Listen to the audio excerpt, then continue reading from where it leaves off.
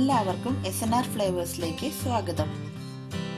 ഞാൻ ഇന്നിവിടെ ഉണ്ടാക്കാൻ പോകുന്നത് ഒരു തക്കാളി കറിയാണ് മീൻ കറിയുടെ അതേ ടേസ്റ്റിലുള്ള ഒരു തക്കാളി കറി തേങ്ങ അരച്ച മീൻ കറി എങ്ങനെയാണോ ഉള്ളത് അതുപോലെ തന്നെ മീനില്ലാതെ തക്കാളി കൊണ്ട് നമുക്ക് ഈ കറി ഉണ്ടാക്കാം.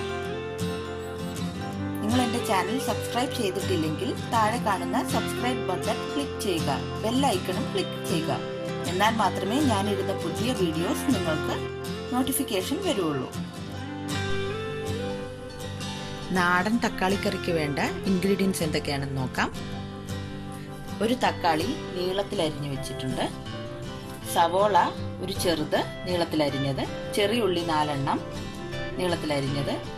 പച്ചമുളക് രണ്ടെണ്ണം നടുവേ കീറിയത്. ഇഞ്ചി ഒരു ചെറിയ കഷ്ണം നീളത്തിൽ അരിഞ്ഞത്. കറിവേപ്പില കുടംപുളി ഒരു ചെറിയ കഷ്ണം പിന്നെ അരപ്പിന് വേണ്ടിയിട്ട് ഒരു അരമുറി തേങ്ങ ഒരു കഷ്ണം വെളുത്തുള്ളി ഒരു നുള്ളി ജീരകം.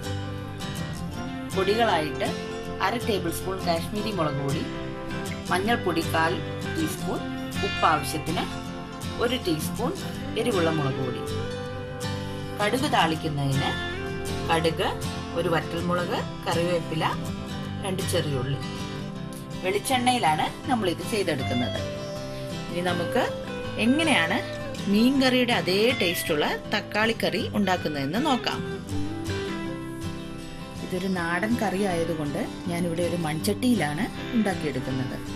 നമുക്ക് എങ്ങനെയാണ് തക്കാളി കറി ഉണ്ടാക്കുന്നതെന്ന് നോക്കാം. ആദ്യമായിട്ട് തക്കാളി അരിഞ്ഞത് ഇട്ട് കൊടുക്കുക. പിന്നെ ചെറിയുള്ളി സവോള. ഇതെല്ലാം നീളത്തിലാണ് കേട്ടോ അരിഞ്ഞു വെച്ചിരിക്കുന്നത്. ഇഞ്ചി ഒരു കഷ്ണം പുളി പച്ചമുളക് കറിവേപ്പില ഇവയെല്ലാം കൂടി ഇട്ടൊന്ന് യോജിപ്പിക്കുക. ഇതിലേക്ക് നമുക്ക് കാശ്മീരി മുളക് പൊടി ആവശ്യത്തിന് ഉപ്പ് മഞ്ഞൾപ്പൊടി പകുതി എരിവുള്ള മുളക് പൊടി ചേർത്ത് കൊടുക്കാം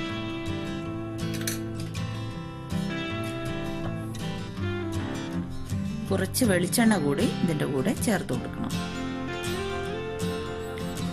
ഒരു ഒരു ടേബിൾ സ്പൂൺ മതിയാവും. ഇതെല്ലാം കൂടി കൈ കൊണ്ട് തന്നെ നന്നായിട്ട് തിരിഞ്ഞ് യോജിപ്പിക്കുക. നന്നായിട്ട് എല്ലാത്തിലേക്കും ഈ പൊടികളെല്ലാം തിരിക്കണം നന്നായിട്ട് കൈ കൊണ്ട് തന്നെ തിരുമണം. നല്ലതുപോലെ അമർത്തി തിരുമണം.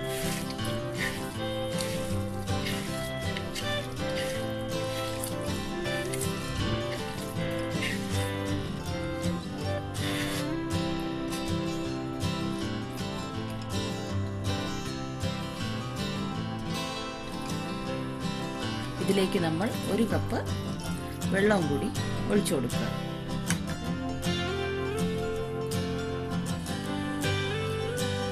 ഒരു അഞ്ച് മിനിറ്റ് നമുക്കിത് മിക്സ് ചെയ്ത് വെച്ചതിന് ശേഷം ഇത് സ്റ്റൗവിൽ വെച്ച് കൊടുക്കുക. ഒരു മീഡിയം തീയിൽ നന്നായി ഒന്ന് ഇളക്കി കൊടുക്കുക. അതിനുശേഷം നന്നായിട്ട് വെന്തുടയണം. അതിനായിട്ട് നമുക്ക് മൂടി വെക്കണം.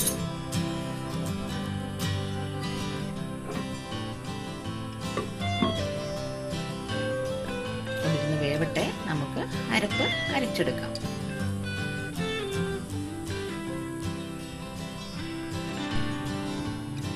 അരപ്പിനായിട്ട് മിക്സിയുടെ ചെറിയ ജാറിലേക്ക് തേങ്ങയും കാൽ ടീസ്പൂൺ മഞ്ഞൾപ്പൊടി കാൽ ടീസ്പൂൺ മുളക് പൊടി ഒരു അല്ലി വെളുത്തുള്ളി ഒരു നുള്ളി ജീരകം.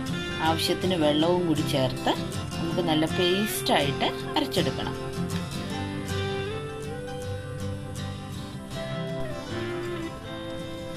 നന്നായിട്ട് വെന്ത് വന്നിട്ടുണ്ട്. നമ്മളിനി ഇതിലേക്ക് നന്നായി അരച്ച് വെച്ച അരപ്പ് ചേർക്കും.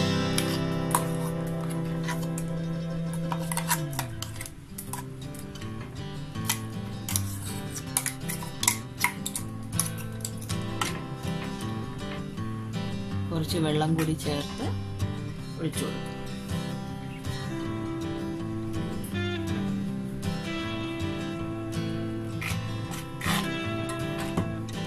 നന്നായി ഇളക്കി യോജിപ്പിക്കുക.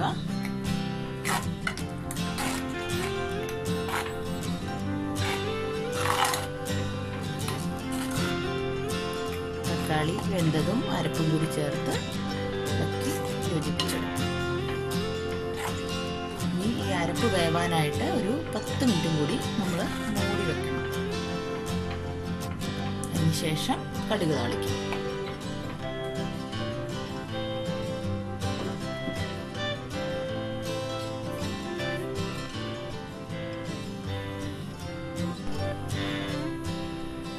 മിനിറ്റ് ആയിട്ടുണ്ട് ഇത് നന്നായി തിളച്ച് അരപ്പൊക്കെ വെന്ത് വന്നിട്ടുണ്ട്.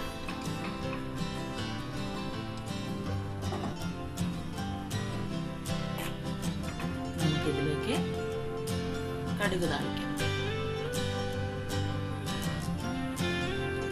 ഉപ്പ് പാകമാണോ എന്ന് നിങ്ങൾ നോക്കണം.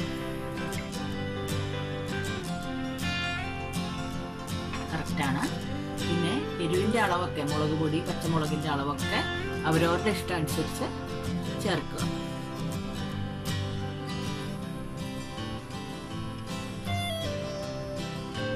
കടുക് വറുക്കാനുള്ള പാത്രം വെച്ച് ചൂടാകുമ്പോൾ വെളിച്ചെണ്ണ ഒഴിച്ചു കൊടുക്കുക.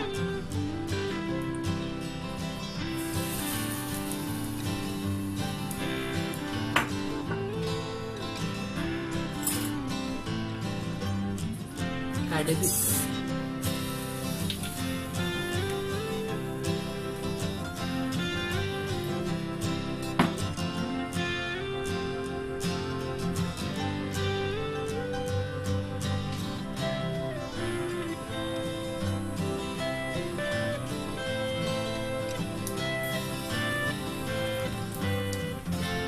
കടുക് പൊട്ടി തുടങ്ങുന്നുണ്ട്. കടുക് നന്നായിട്ട് പൊട്ടിയില്ലെങ്കിൽ ടേസ്റ്റ് ഉണ്ടാവില്ല കറിക്ക് എന്നാണ് പറയുന്നത്. കടുക് പൊട്ടിയിട്ടുണ്ട്. ഇതിലേക്ക് ചെറിയ ഉള്ളി ചെറുമുളക് കറിവേപ്പില ചേർത്ത്.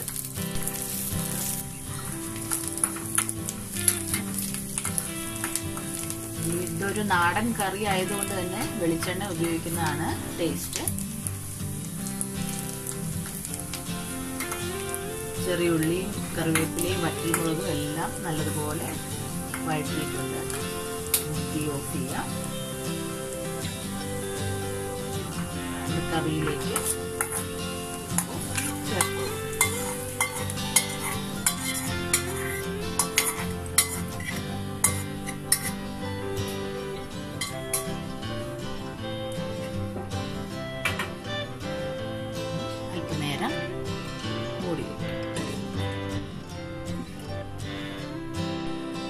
നല്ല നാടൻ തക്കാളി കറി തയ്യാറായിട്ടുണ്ട്. ചോറിന്റെ കൂടെയും ചപ്പാത്തിയുടെ കൂടെയും എല്ലാം നമുക്കിത് ട്രൈ ചെയ്യാവുന്നതാണ്.